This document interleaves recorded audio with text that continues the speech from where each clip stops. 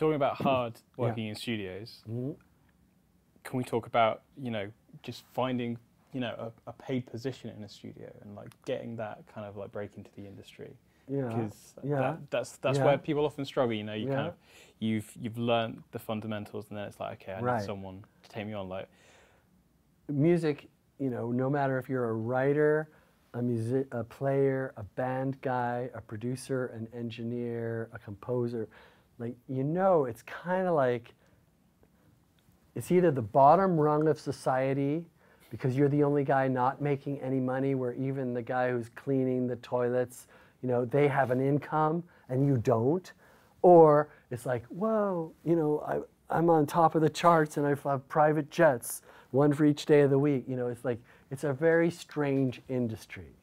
So I worked for literally two decades, every single day, recording songs and playing shows and putting bands. And then 20 years later, I started, like, I got signed with Sky Cries Mary in the grunge era. And suddenly I had like a publishing deal and a record deal, and I was touring, and I had a $20 bill in my pocket every day. I could go to a Thai restaurant whenever I wanted. Like, that was great. Like, wow, I really made it. And then 10 years later, I recorded The Strokes, and suddenly I'm getting like royalty checks, and I could live in the UK, and I can travel, and I could buy more synthesizers and stuff. So, you know, worked your way up. And as I said, I never intended to be a producer, but at a certain point, bands started coming to me, and then word of mouth made it like become a job. So I expect it's going to be like that for almost everybody if you're a recording engineer, you go, where are, where's the music? Is it at the club? Is it in my school? And you hang out, you say, hey, come to my house, we'll record something. And then they might tell their friends. Or if you're in a band, you might do a great job and word of mouth. So eventually you get to the point where there is a paid position. And then it becomes about, from the very beginning, as soon as you possibly can, you need to focus on where it is you're going and where you want to go. For example, you don't want to be a producer working with bands that, even if you're getting well paid and you're a studio staff producer, but you're working on the most crap music and you have to use auto tune every day to take these models that the labels are giving you and make them sound like singers. You know, I would never do that, even for a million dollars. Like, I don't know how to use auto tune that way, for one thing. I made sure that wasn't my specialty.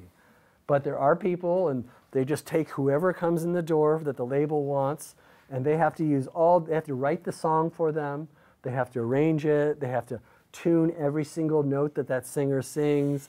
You know, it's, it's hard work. But you don't, maybe you don't want to do that. You just want to work with cool people that you already like in the genre that you like. So be very specific about where you're hanging out, who you're talking with, who you're collaborating with. Like make sure it feels good even at the beginning because you don't want to be successful doing something you don't like. Coming to work every day and having to do something you don't like, that would be a nightmare for me.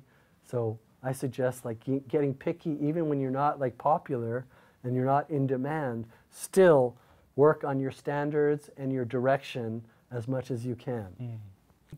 do you think there are ways that people can still self-fund their development when they're at a junior level without it necessarily taking away a huge amount of time from their creativity? Because the stories you often hear are like they've they've got really good mm-hmm. skills, they are starting to build mm-hmm. up that portfolio, maybe not getting paid that much, and they're having to subsidize subsidize that by working like Right. a, a regular nine to five job. Right. Do you, based on personal experience and people you know, do you do you have any advice on like self funding where it's more appropriate work that you're kind of like subsidizing your time with? I think gathering funds and like getting funding is, is not my strong point. Even when I'm putting out my record, I just said, uh, you know, I'm just posting stuff on my Instagram and TikTok and Facebook and noticing that it's being sent out to 100 people. You know, I, I don't have like a giant investment fund that I could put, you know. But there are some people that are good at writing grants, and there are some people that are good at like Patreon and or selling themselves. Some people there are, there are young people that are experts that know how to like do the right thing and the right people. There there are ways to go about getting funded. I'm not an expert and I'm not very good at it, but it doesn't mean that it's impossible because I know people do it.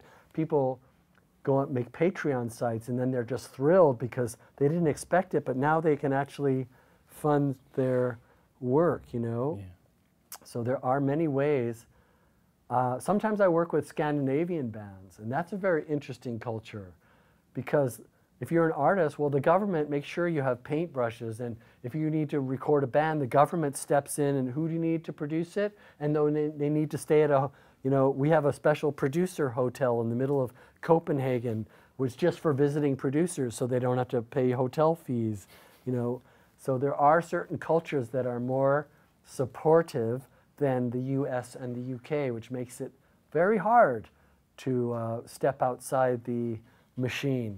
And I believe that being creative and being an artist is stepping outside of the machine because you're relying on your creativity, your intuition, and your own abilities, which is something that there's a lot of forces in society that don't want you to connect with that energy. So anybody, any school or any person that helps you connect with that and develop it is a, is a good guy, as far as a good guy or girl or whatever, as far as I'm concerned. It's very important.